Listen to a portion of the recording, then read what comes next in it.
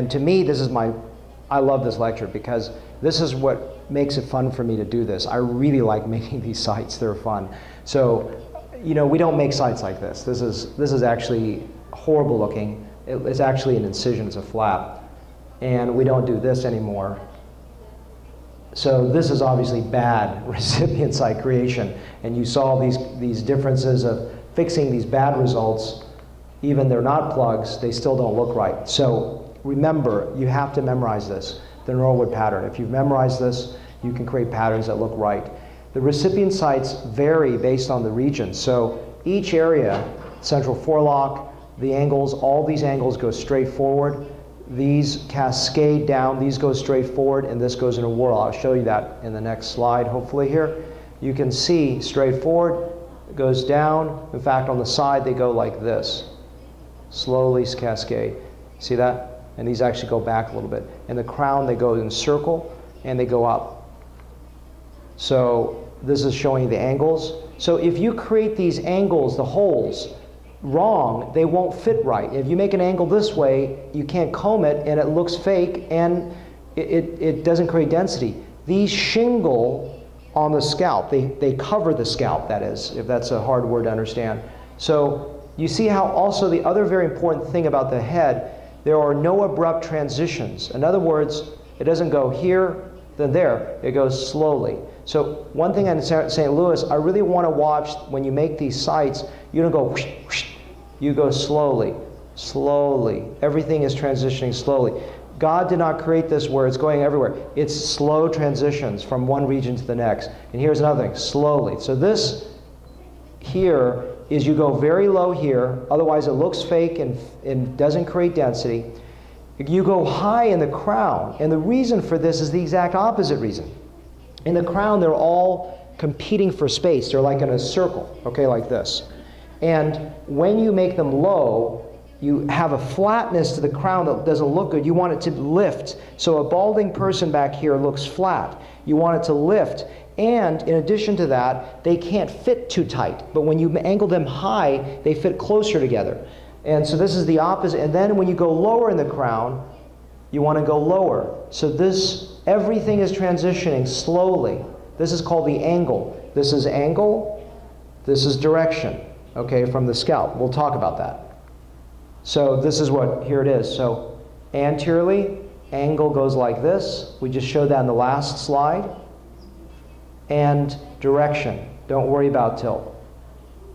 Direction is this way, okay? Remember the box. This is so important, the box. There are many ways to make holes. Parallel, perpendicular, micro punch. I don't make these anymore. They, the, the survival is a little bit less than perfect. These are the two ways I make them. You should forget about this. This is probably too complicated. But remember, I'm not going to teach you how to do it. I'm just going to show you why I do what I do so that you can understand the creativity. These sites are easier to make. They, make, they follow in the direction of the, of the hairline, so they allow me to point the hairline. They also um, make it easier for the, the, the staff to place into it. These can create more visual density, but they can cut through existing hairs and they don't make the hairline the directionality well. Why? Let's show this. If I put a graft into a slit like this, right, and I have three hairs in there, it can't go up. Does that make sense? Like this, okay? If I make the site this way, it can ride too high. But if I make it this way, the direction of the hairline can be off. So this is why I use sagittals for hairlines, and for three hair grafts I make coronals. You don't have to do that. And again, just to show you, this is just, I, made, I just documented, I made one hair sagittally, two hairs sagittally, except first row, and then coronal, so that I made a transition of one row of coronal two so that my placers know which are ones and twos. Okay. Don't worry about this. Don't even need to translate it because the point of this is if you try to remember this, it's impossible. Don't even, this is just a design. Okay? So this is showing a male hairline going forward. This is a transition going, you see how the transition is slow? Okay, this is to the temple. This is the crown. You see the transitions are very gradual. Female hairline, the whorl is very slow transition. So we talked about this, right? I just put this up there as a reminder.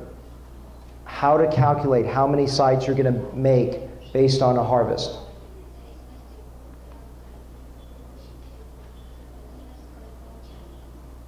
These are different needles that I use.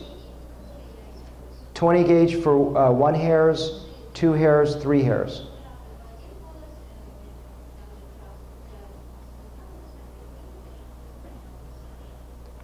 This is a, a small blade for larger grafts compared to a needle for one hairs.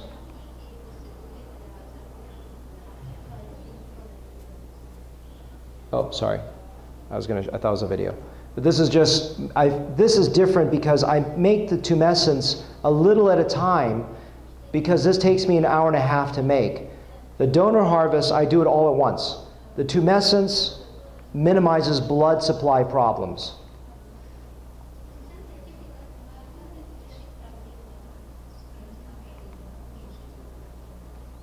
This, you want to make sure the graft fits in size and length. If the graft is too short, the site is too long, the graft will fall in, and you have a pit.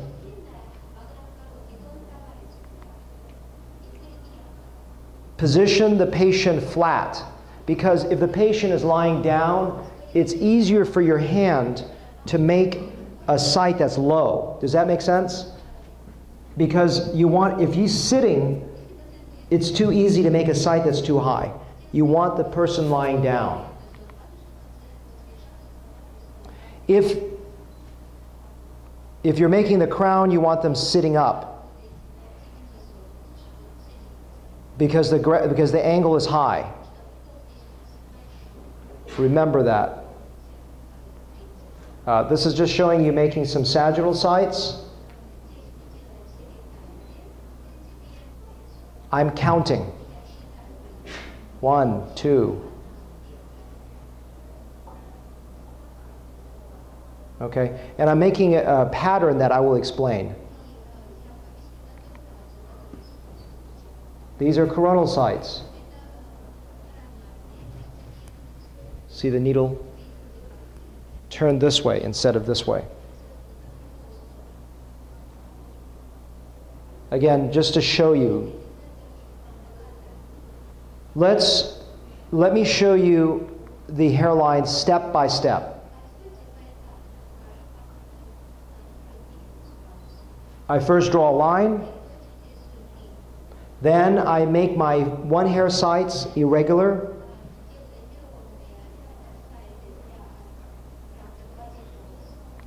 Then I come back and make another pass to make it more irregular.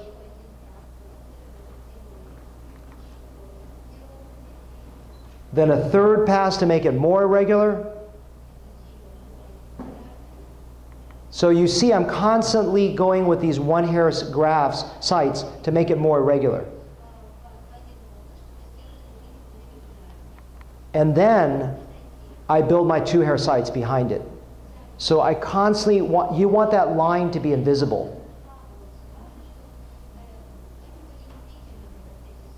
So I will fuss and finesse and work to make that line irregular.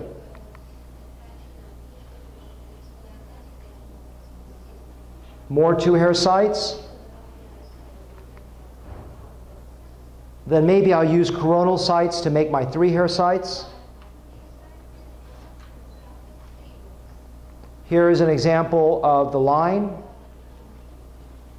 with maybe a zone of two hairs going, or one hairs and two hairs. One hair sites to make it irregular. This is not regular.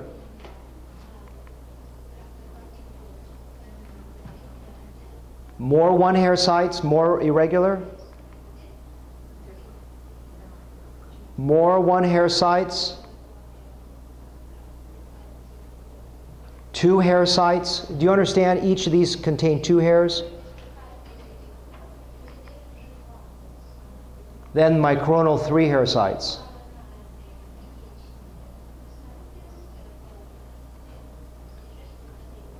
You should do everything with sagittal though because the coronals are hard to, to control.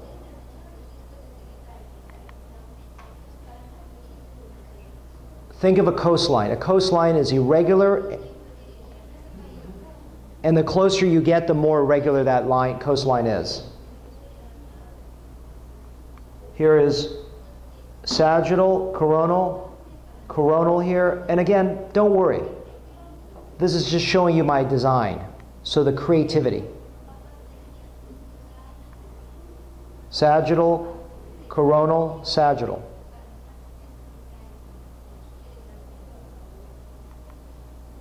The other nice thing is you can do a little bit of convergence going inward. Be especially in the hairline because it makes this denser looking.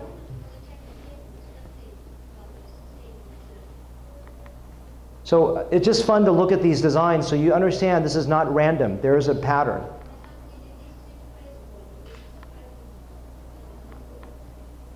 Just showing you patterns. Again, don't worry about what I wrote there. This is really not relevant. If you want to photograph, you can.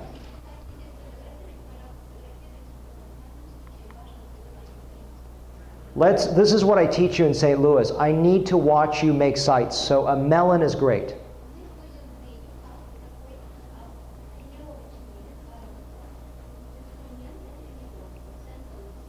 So I bend the needle first, ready to make sagittal sites, ready to make coronal sites.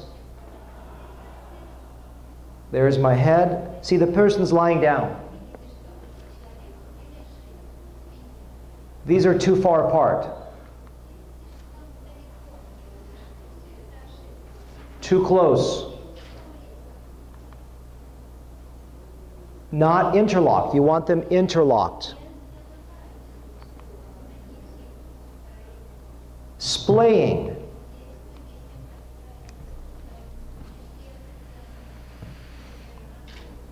They should go priyama, straight.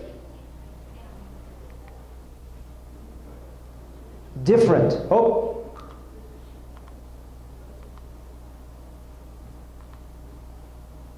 Different. Oh, sorry. Here we go. You see how this is very open and this is very tight?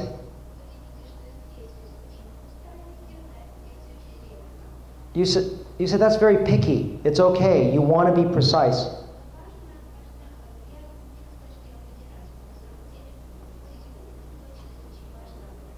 See how these angles go this way and these go this way? Not a good result. I mean, that's going to be okay, but you could be better. Tight, loose. Another error I see with my students is when they make the site, they don't go all the way to the hub.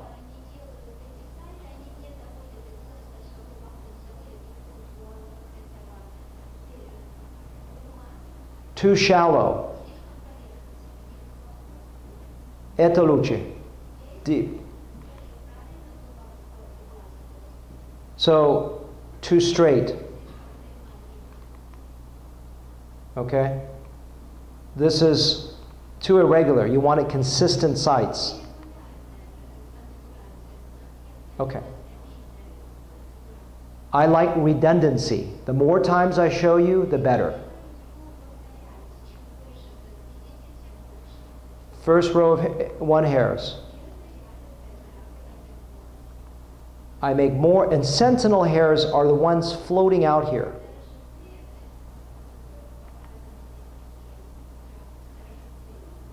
Then I start building my two hairs.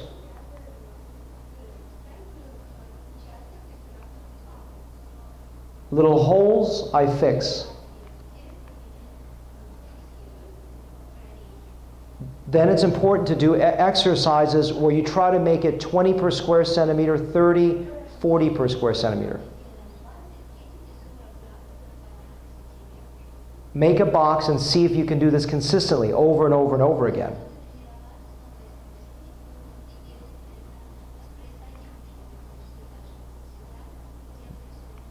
Then pretend you have 1,500 two-hair grafts and see if you can fit it all into this whole space.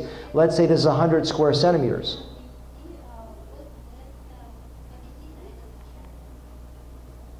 Make a crown. This is advanced. I would not do this in your first few years. And then make your sites.